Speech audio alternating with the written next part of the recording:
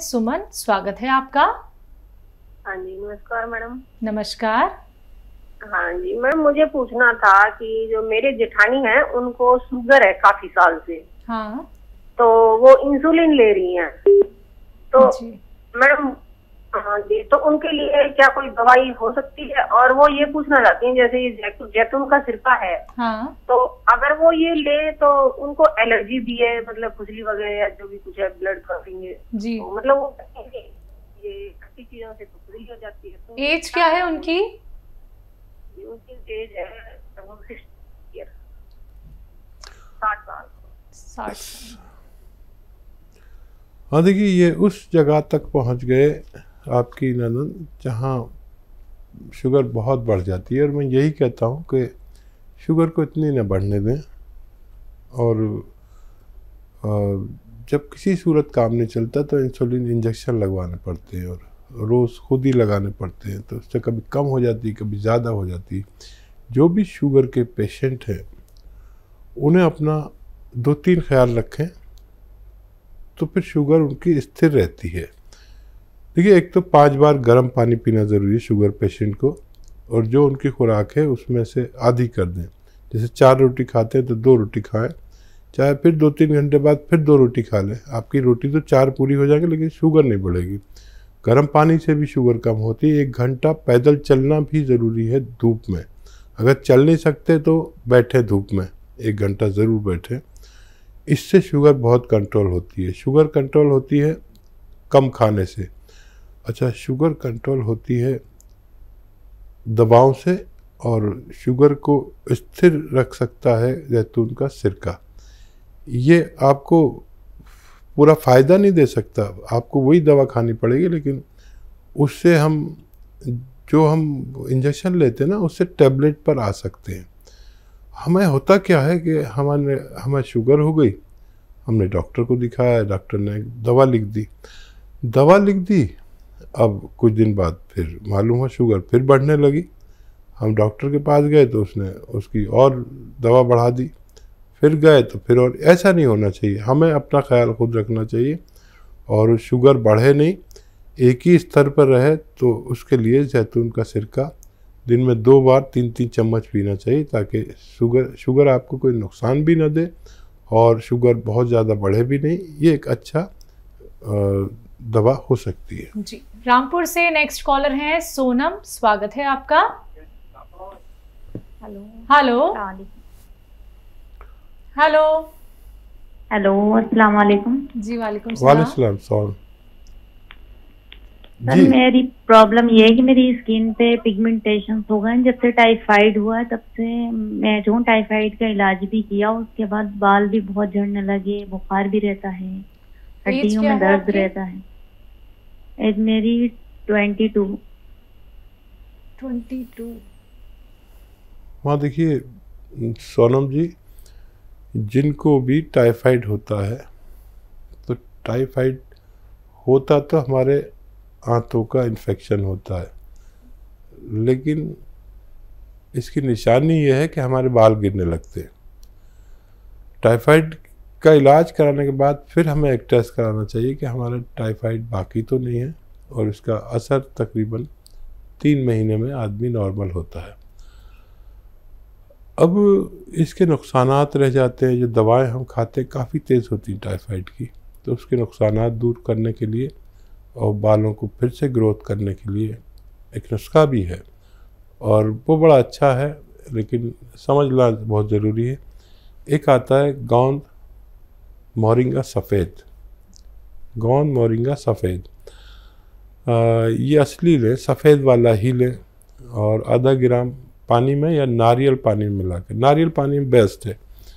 आधा ग्राम दिन में एक बार पी लिया करें। अच्छे हालात हैं तो दो बार भी ले सकते हैं। इससे आप, पहले जैसी थी, आपका ऐसा होना मुमकिन है। बिल्कुल। हकीम साहब, इनका ये भी सवाल था कि इनके चेहरे पे झाइयाँ हो गई हैं। हाँ ये उन सब के लिए है। मैं मैं अक्सर एक नुस्खा बताता हूँ तो उसके चार पाँच इलाज होते हैं। लेकिन 22 साल की उम्र में? अरे टाइफाइड तो पाँच साल के तीन साल के बच्चे को हो जाता है। जी। और फिर उसे यही तकलीफ़ें होनी पड़ती हैं। हम्म। ऐसे बच्चे जो बता भी नहीं सकते मुझे कहाँ प्रॉब्लम है। बिल्कुल। ये सब माँ बाप देखते हैं डॉक्टर देखता हम्म, है हम्म, तकलीफ़ देख के क्योंकि पेट में बड़ी अजीब हालत हो जाती है। भूख लगती नहीं। उल्टी सी आती है पेट टाइट हो जाता है। लैट्रिन होना बंद हो जाती है। हम्म, फिर टेस्ट कराने से पता चलता है कि आंतों का इन्फेक्शन है। उसमें हमारे बाल भी इम्प्रेस होते हम्म, हैं। हम्म। पूरी बॉडी इम्प्रेस होती है चेहरे पर भी रौनक नहीं रहती। चलिए नेक्स्ट कॉलर है नेहा कुरुक्षेत्र से स्वागत है आपका। हेलो हाँ जी। नमस्कार मैम। जी नमस्कार। मैम मैंने पहले ना अपने बच्चे के लिए कॉल किया था। हाँ। उसके पैर के लिए कि उसके पैर बहुत ठंडे रहते हैं। हाँ। लिए कॉल किया था। तो डॉक्टर साहब ने बोला था कि ये रिसोडा पीपली और दो चीज़ें और बताई थी। अलसी और हम्म। एक और ये बताया था उनाव। हम्म। हम्म। तो ये पूछना था। मैम कि जो रिसोडे में वो होती है ना गुठली होती है हम्म। हम्म। अभी निकालनी है या नहीं? ठीक है। जी। और एक सवाल हो रहा है सर मेरे बेटे के जो पाँव ठंडे रहते हैं ना तो कभी कभी उन पे दाने भी हो जाते हैं पाँव पे। ठीक है। बा, बारीक बारीक से दाने हो जाते हैं। हम्म। और बिल्कुल ही कितना बड़ा है बच्चा? सात साल का है सर। सात साल का। हम्म, अच्छा देखिए लिसोड़े के ऊपर बीज तो निकाल दें लिसोड़े का भी और उन्नाब का भी। और फिर अलसी है और पीपले हैं, किचन में आपके पीपले हैं। वो सिर्फ़ तीस ग्राम ही डालें, गलती ना करें। ये सौ सौ ग्राम और पीपले तीस ग्राम। इसको पाउडर बनाएँ और सिर्फ़ आधा ग्राम दे सकते हैं। इनको, वो सॉरी, आधा ग्राम नहीं, आधा चम्मच। बड़ों के लिए एक चम्मच है, बच्चों के लिए आधा चम्मच। अच्छा इन सबको आप शहद में भी मिला सकते हैं, हनी में डाल सकते हैं, इससे दो गुने हनी में। तो ये सब उसको मैं एक खाने लायक हो जाता है, बच्चे मतलब मीठी चीज़ खा सकते हैं। तो फिर ये आधा आधा चम्मच बच्चे को दें, और बच्चे में इम्यूनिटी वापस आ जाएगी, और ताकत आ जाएगी, पैर भी ठीक हो जाएँगे, दाने भी ठीक होने चाहिए। इम्यूनिटी अजीब व गरीब चीज़ है। ये सारी बीमारियों को हर लेती है। आज पूरे विश्व को इम्यूनिटी की ज़रूरत है। मैं तो हमेशा से इम्यूनिटी की बात करता हूँ क्योंकि हम जब भी अपनी बीमारियों से लड़ते हैं तो हम नहीं। हमारी रोग प्रतिरोधक क्षमता इम्यूनिटी हमारी क़वत मुदाफ़ियत लड़ती है और बच्चे को आपका ठीक होना मुमकिन है। जी। अगली कॉलर है इंदौर से राधिका। स्वागत है आपका। हेलो। जी राधिका जी। हाँ मुझे मैम पूछना था मेरी है उनको सांस की प्रॉब्लम है उनको सांस बहुत फूलती है। सांस फूलती है किनकी? कितनी उम्र है उनकी? ये अड़तालीस साल फोर्टी एट ठीक। अच्छा डॉक्टर ने क्या बताया? फेफड़े की प्रॉब्लम है लंग्स की या दिल की? सांस फेफड़े की प्रॉब्लम है उनको। ठीक है। और देखिए इस उम्र में दिल की वजह से भी सांस फूलती है तो इसलिए पूछना ज़रूरी है वजह क्या है? फेफड़ों को मज़बूत करने के लिए अभी एक बात चल रही थी नुस्खे की, वो नुस्खा अलसी उन्नाब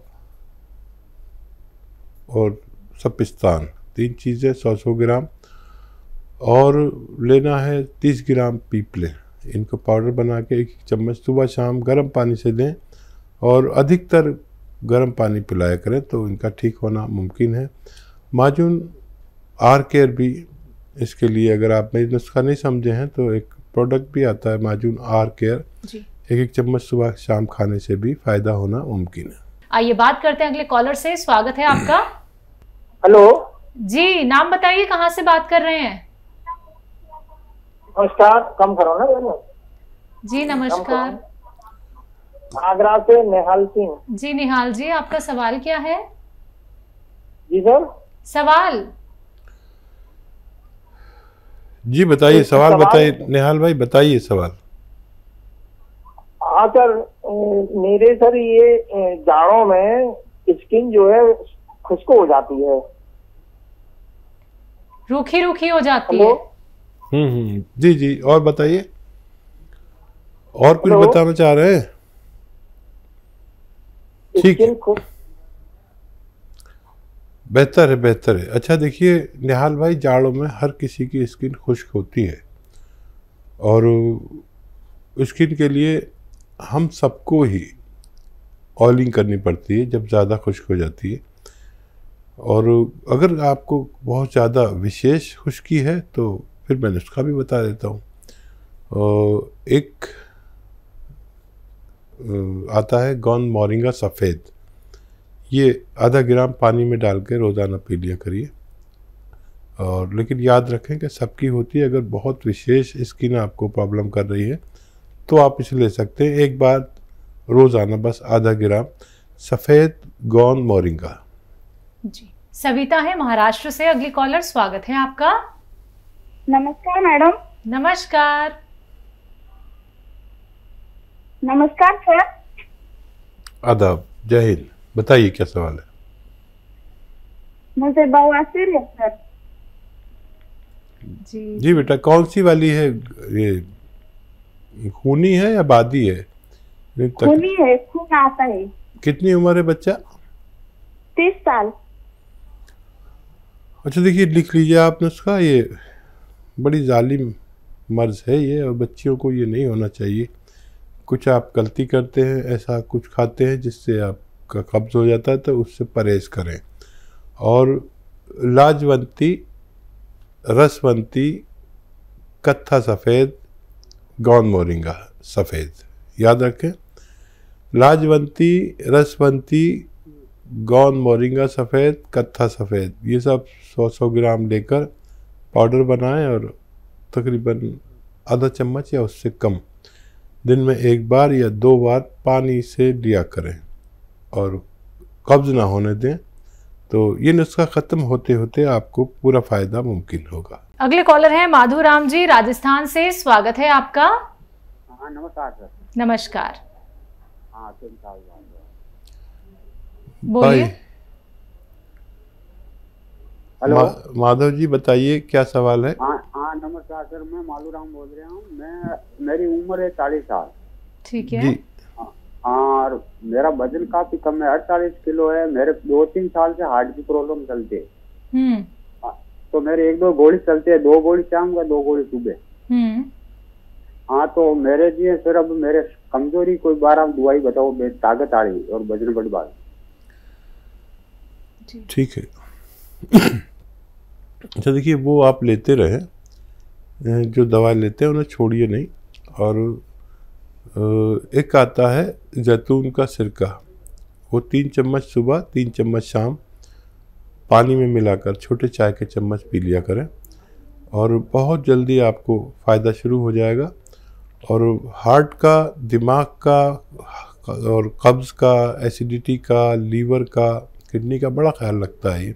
छोटे चाय के चम्मच तीन तीन रोज़ाना पानी में मिलाकर दो बार खाने के पश्चात लेना आपके लिए बेहतर है। तो देखिए माधुराम जी छोटा सा नुस्खा आप अपना लीजिएगा, आपको बहुत आराम मिलेगा। बाकी अगर आप कुछ चीज़ लिखने में चूक गए हैं या फिर लिख नहीं पाए, समझ नहीं पाए हैं तो उसके लिए आप हेल्पलाइन नंबर पे बात कर सकते हैं। दर्शकों, अगर आप लोगों को मार्केट में रॉ मटेरियल नहीं मिल पाता है तो आप उसके लिए भी हकीम साहब की कंपनी से मंगवा सकते हैं। हेल्पलाइन नंबर पर कॉन्टैक्ट करके। अतिया हब्स एक ब्रांडेड कंपनी है 500 से भी ज़्यादा फ्रेंचाइजी इसकी देश भर में है, जिसके फाउंडर प्रमोटर रिसर्चर हैं हकीम सलेमान खान साहब, जो लाइव आप सभी के साथ जुड़े हुए हैं। चलिए बात करते हैं अगले कॉलर से। स्वागत है आपका। हेलो। जी बलवीर जी कहाँ से बात कर रहे हैं? हाँ। कहाँ से बात कर रहे हैं? और टीवी का वॉल्यूम प्लीज़ कम कर दीजिए। एमपी से बात रहे हैं। टीवी का वॉल्यूम कम कीजिए सबसे पहले तो। हाँ कर दिया। चलिए सवाल करिए। एमपी से बात कर रहा हूँ दीदी मैं। ठीक है सवाल क्या है आपका? सवाल मैडम ये है मेरे गला सूखता है अधिक करके पानी की डपी लगती है। गला सूखता है? जी। उम्र क्या है आपकी? हाँ, मैडम मैं मैं गुना से बात कर रहा हूँ गुना एमपी उम्र क्या है आपकी? उम्र मेरी है तीस तीस बत्तीस साल। जी। ठीक है। अच्छा देखिए इसके लिए आप एक नुस्खा बना लें। और देखिए, एक तो मेथी मेथी का दाना 100 ग्राम लें, मेथी और 200 ग्राम अलसी 100 ग्राम मेथी का दाना 100 ग्राम अलसी का दाना। और 100 ग्राम आपको लेना है गौन मोरिंगा सफ़ेद। और 100 ग्राम आपको लेना है धनिया का दाना। इन सबको पाउडर बनाएँ और आधा चम्मच सुबह, आधा चम्मच शाम गर्म पानी से लिया करें। आपकी परेशानी ठीक होना मुमकिन है। जी।